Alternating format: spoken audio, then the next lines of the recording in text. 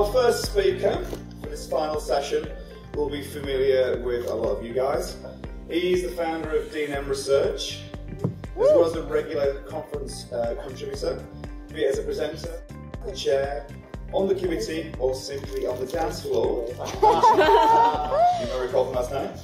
And his ongoing research to find out what they think our partners want. Here is Derek Jones with his third instalment.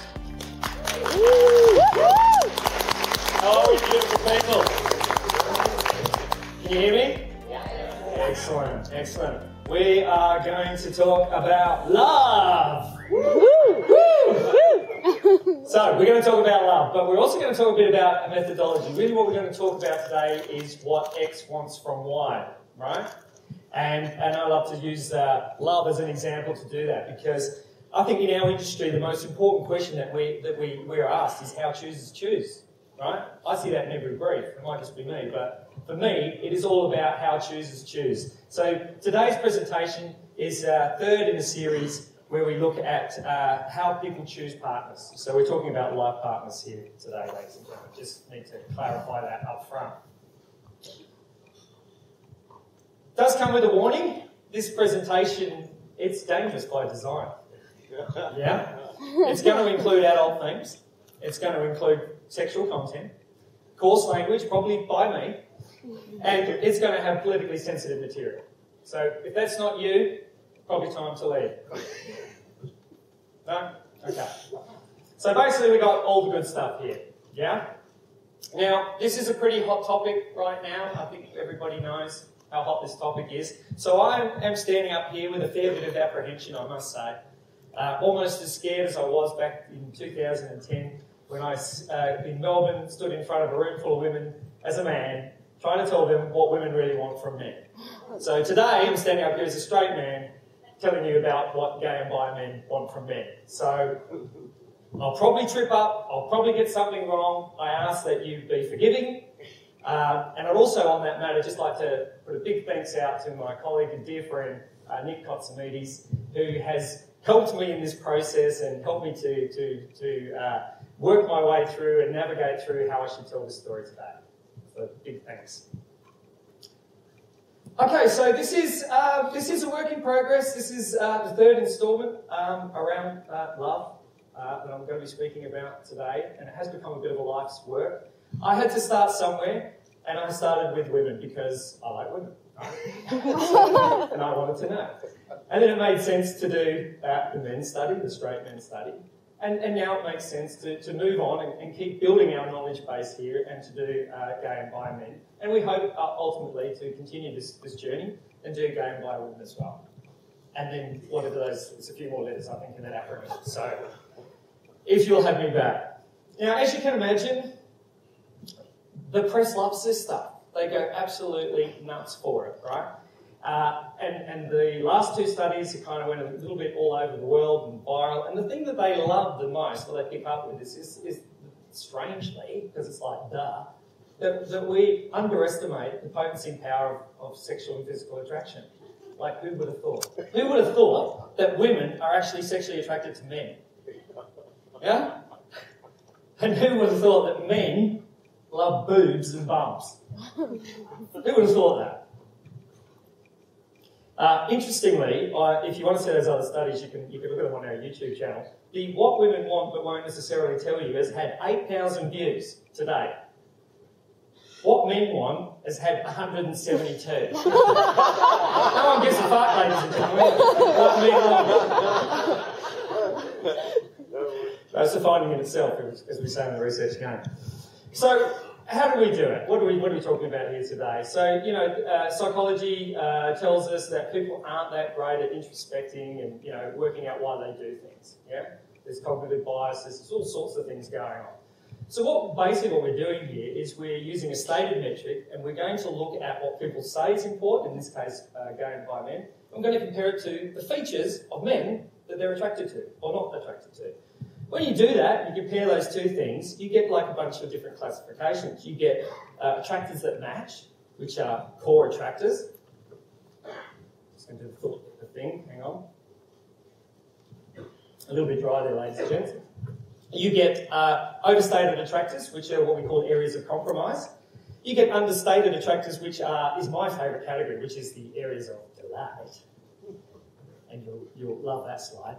That's the money slide. There's detractors that match are core detractors, and of course you get the flip side, you get overstated detractors or areas of tolerance, and you get the opposite of delight, you get absolute disgust.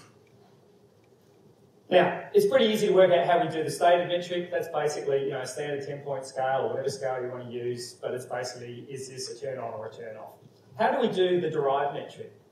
So with the derived metric, what we basically do is we take a bunch of, uh, these are what we call our celebrity uh, partner candidates. So these guys were qualitatively derived as either good or bad. We get an attraction score associated with them, and then we get them to associate them with each of the attributes that are in the stated importance list, right? We put them in a box and we jiggle them around a little bit, and we come up with a mean score. So basically what we're saying is the proxy score for, let's say, he's strong and masculine, all men that was, were seen as strong and masculine had, had an average score of 7.3. So that becomes our proxy for uh, strong and masculine. We repeat that across all of the metrics that we have in the study.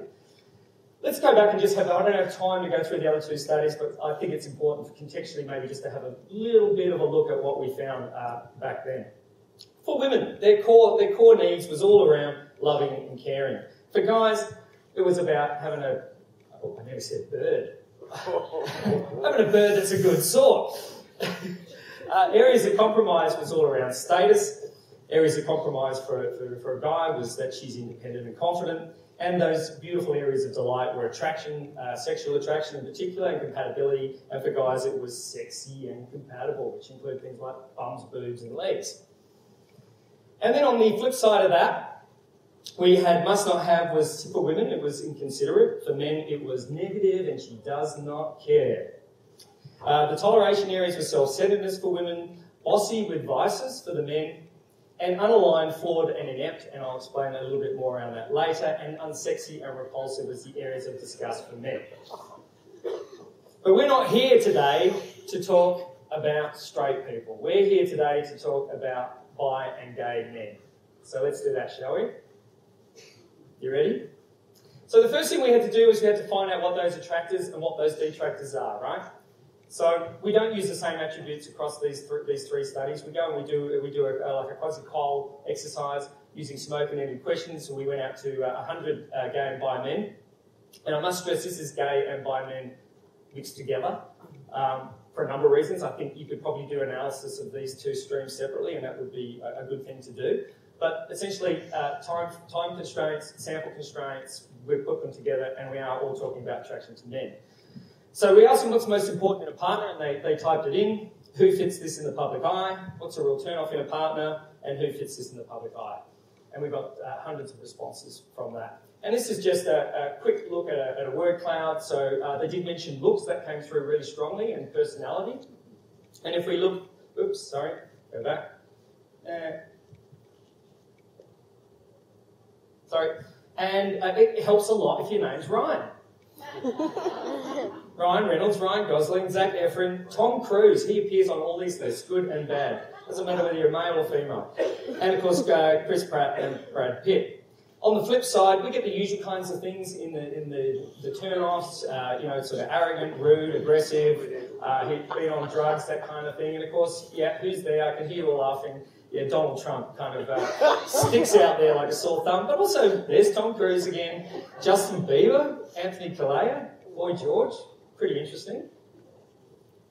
So then what we did is we, we, we uh, had to then distill this down into a list of attributes, and we ended up with 62 attributes, 31 positive attractors and 31 detractors. This took days, I've got to say. This was one of the most challenging things we've ever done. Uh, and we'd use the planets and moons process, which we like to use, uh, planning tool. So we just kind of chunked them up in the themes, and then finally distilled them down until we got our final list, which you can see there. Now, of course, we also had to um, find some celebrities, some male celebrities that they could rate. They were either good or bad. And the, on the good list, there was over 100 males. So, you know, there's a lot of diversity. And we found that with, with the men and women. It was about 60 guys on the, on the, uh, on the detractors list. Who wants to play who's hot, who's not? Anyone? Give me a name. Hugh, Hugh Jackman. Jackman, thanks. Yeah, 6.3. Give me another name. Ricky Martin, thank you. Point 6.2. Oh, you love that you're playing ball here, just as I anticipated. Give me another name. Chris Hemsworth. You mean Jake Gyllenhaal? 6.3? Okay, let's let's get serious. Someone said Chris Hemsworth. One out of six. Yeah, seven. Who's not hot? Yeah, he's not very hot. Clive Palmer, did you say? Yes. I've forgotten the order now. Boy George. 2.9. Anthony Mundine, and of course, Donald. Thanks for playing, ladies and gentlemen. Okay, so then we went to stage two, which was uh, we went back to 400 uh, game by men, around half half in the sample. Thanks to the, the, the, very generous people at Lightspeed who donated some sample to us. Very grateful for that, and friends at Octopus who gave us a nice discount. Uh, we did have to build the, build the sample. It's a split sample because we've got so many attributes. So they basically did half the attributes and half the celebrities each. Yeah. So three simple questions. We showed them those photos of those those guys. Um, we tried to make all those photos look the same, thanks to the wonderful Emre, who also did this presentation, which is absolutely beautiful, I have to say. Uh, so we showed these people and we said, is, is, this, is this person uh, attracted to you or not, right? Simple. How appealing a return offer each of these attributes, and which of these attributes apply to these well-known people. So question two is the stated importance. We combine question one and question three to get our derived importance. And obviously we sort of did play this a little bit, but that's the, that's the full list uh, in terms of guys that were above average. So you've got Hemsworth, Gosling, Jackman, Pratt, Gyllenhaal. Gyllenhaal, I've been practicing that. I don't think I got it right, did I? Um, interestingly, the scores that we got here are sort of like sixes and sevens. That's at the highest. And when we did this with straight men and women, we were getting scores closer up to uh, the eight mark.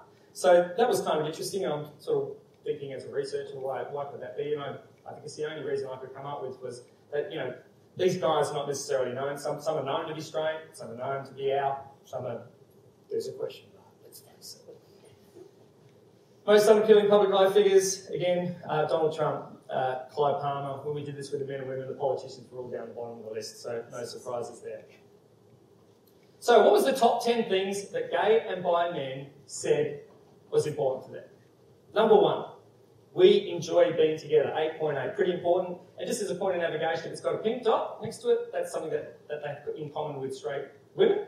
And if it's a blue dot, that's something that they have uh, in common with, with uh, straight men. If it's in a box, it's unique. So he's loving, caring, and understanding, that was unique. I'm attracted to him sexually, had that in common with straight men. He loves and respects me for who I am, that was common across both gender persuasions. We have chemistry, that was unique. He's loyal uh, and reliable. That was unique. He's respectful and has good manners. That was uh, shared by the women. He's kind and caring to others. That was shared across all. He's down to earth and easygoing, shared with males. And he has an attractive personality. So you can see there are, there are some common things there um, with straight men, some common things there with straight women, and you can see the list there in your package where I have a look at that. And if you want to have a look at all of them, they are also there. and then on the on the reverse of that, the, the bottom, uh, can't believe I'm talking about bottoms already. I will be talking about bottoms, ladies and gentlemen. Here we go. He's listing up. okay, let's refocus, everybody. Top 10 things that gay and bi men uh, don't want in their partners. Dishonest, unfaithful, untrustworthy. That's pretty fair enough, I would have thought, right? And that was common across men and women. It's poor personal hygiene. Well, nobody wants that. He's superficial and fake. That was unique. He's angry or aggressive. He's selfish, egocentric, uh, conceited. He's loud or arrogant. That was shared across the board. He's boring and uninteresting. He's lazy and ambitious. No purpose in life was shared across both. He's controlling and possessing. He is bitchy, came out in the top 10. And you can see there's, there, again, there, there are things that are common with uh, straight men and there are things that are common with straight women. And again, the detractors are all there in the, where I think the packs will go out at some stage, right? And, and people can have a look at that. But the question here is really, are they telling the truth? Do you like that? Yeah. That's really cool, isn't it? Don't ask me how that's done, don't. I'm not going to tell you, so I don't know.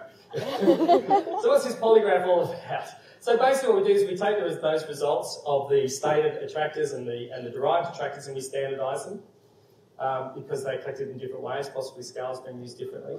And then we plot them on a, on a distribution. So zero is, is the mean score. You can see there's big clusters up in the, in the top right-hand corner. That's obviously all the attractors. And in the bottom, you can see that the detractors are clustering there as well. But you can see some of those things are close to the line, but there are some outliers as well. So there are clearly things that are understated uh, and overstated in terms of attractors, and there are overstated turn-offs and attributes, and that flips around. You have to be a little double jointed to work that one out. But a much better way of looking at this data is to actually put it on a spider chart. There was this aha moment in our office where Chris Cayley, uh, I think, here, said, why don't you put it on a, on a, on a spider chart, mate? And I went, oh yeah, pretty good. It works, it works a treat. And that's the polygraph was born. Right? So when you look at that, you can see that there are, there are clearly areas that align, attractors and detractors. You can see that there are areas that are, that are understated, and you can see that there are areas that are overstated. So let's jump into uh, the attractors. So we'll just going to look at the attractors for the moment. Firstly, where were they aligned? And this is really interesting. So for gay and bi men, what's really uh, important to them is that, that that is about being on the same page, having the same interests, having the same beliefs, having the same values. But he also needs to be confident and, and have charisma, and he also needs to be fit and have, have an athletic body. That's a helpful thing as well. And he needs to be an attractive personality and someone who would love and respect me for who I am. So we've got love in there, but we've got this kind of alignment thing happening. For straight men, it was choose a good sort, and there's some of the attributes that went in there. And for women, it was all about uh, loving and caring. But let's go to firstly to the attractor that was overstated. So this, you can think of this as what would be nice to have. All right. What do we got? He's comfortable in his own skin. He's intelligent. He has. He's got the money. He's independent. He's respectful and has good manners. He has a steady, well-paid job. He's well educated. He has a good sense of humour. Uh, he is gay. He is loyal and reliable. I'm not touching that. He's the perfect guy, ladies and gentlemen, right? This is what we all want. Well, we'll see that we, uh, we do have this in common. Um, but we're willing to compromise on those things. And do you see a lot of pink dots there? There's a lot of pink dots there. Women were very similar, and they talked about they want a guy that has some kind of status in terms of job, education, and the rest of it. For, for straight men, it was a bit different. It was more around being independent and confident. This is the money slide, ladies and gentlemen. Apparently, I say ladies and gentlemen a lot too, so I'm going to try and not do that. Ladies and gentlemen. This is the this is the wow chart. This is the areas of delight. These are the things that gay by men completely understate. Okay, now you can see some pretty big things there, right? Number one, he's got a great ass or bubble butt. We call that an asset. Yeah. They told me not to do that as well. He is hot. He's got a good size appendage. Can't make butter with a toothpick, ladies and gents. I'm attracted to him sexually. he would have chemistry. He, I don't call him a torpedo for nothing. He could be my best friend. He's my sexy bestie, right? That's what this is all about. And you can see uh, our straight guys also mention you know, specific physical attributes like bums, boobs, and legs. And our women were more around, you know, attraction and compatibility. Have I gone too far? I feel like I might have gone too far. I'm sensing it. Okay, there's a flip side to this, and we've got two minutes. Is that is that a clock? That's a clock, isn't it? here for a reason? It's going backwards. Going by men. Core detractors. This is where they lined up. His past would be complicated. He'd be loud or arrogant. He's effeminate. He's bitchy. He has poor social conversation skills. He's not openly out. He's a bit of a drama queen. That is the core, the core negative, the core detractors. For straight men, oh boy, did they have a lot to complain about. Look at that list here. I couldn't even fit them in bullet points, right? So she's negative, she doesn't care, she's a bitch, you know. The straight woman is like, he's, he's just inconsiderate, he's always at the bar, he gambles, he, you know, all of that kind of stuff. So that was defining itself. And then we get to prefer not to have, so these are areas potentially of toleration. And the first one there is he's not single, I'm not touching that. The second one is he would want a family and relates to children well. This is an interesting one, potentially controversial. And you can see it's pretty high on the, it's almost on the attractor list, right? So it's kind of in the middle. It's only just fallen into, into, this, into this section. Um, So it could be actually an area of compromise or toleration. But we know that it is measurably more difficult for a gay and bi couples to, to have children, right? So that's probably why, why it falls where it does. He has addictions. He has poor personal hygiene. We'll tolerate that. Dishonest, unfaithful, and untrustworthiness. He works too much. He's lazy, unambitious, with no purpose in life. He would only be looking for sex. He's compromised and he has vices. Not dissimilar to straight men, except they're not worried so much about being compromised, they just don't want bossy. Right? But you can have vices, you can smoke, you can go shopping, you can do that kind of thing. And for women, it was all about self centeredness. And finally, ladies and gentlemen, say it again. In a negative and positive. Well, stop right there. Here are the areas of disgust. He talks too much. He's overweight. He would not be good in bed. He swears too much. He does not look after himself physically. He is a slob, slovenly, loud, overweight, bad in bed. Lots of blue dots there, as you can see. Very similar to straight men. It was all about areas of disgust was unsexy and repulsive. She's overweight, she's no good in bed, she talks too much, she has an unattractive voice. For straight women, it's a little bit simpler. Uh, unaligned, so you have different values to me. That's a that's a deal breaker. A fit, flawed. You've got a physical characteristic that they just can't get past. That's it. No, deal breaker. Don't like that. And poor social and conversation skills. So there you have it. Quick look at the archaeology, uh, architecture then of gay and bi love. So we saw that the core must-haves was aligned and attractive. The compromise areas was the perfect guy, which was very similar to straight women. Areas of delight is my sexy bestie. The drama queen was the, the category uh, chunked up area of must not have. Compromise with vices was an area of tolerance, and we've just seen slob was an area of disgust. So we started this conversation uh, talking about love, and I think it's appropriate that we finish talking about love. We've seen that love is different. When we look at straight men, we look at straight women, we see there are differences. So we've seen differences here again today. So love is love, ladies and gentlemen, even when it's different. Said it again. Gay and bi men are not that different to their straight counterparts. There are nuances, but they're not that different to what we've seen between straight men and straight women. We all want loving partners. That comes through in all three studies. Straight women put a little bit more emphasis on loving and caring. Straight guys, a little bit more emphasis on loving and support, pat me on the back. That's what guys want. While for gay, gay and bi men, it's more around loving uh, and more emphasis on being aligned on the same page and respect. We all look for that perfect partner with some nuances.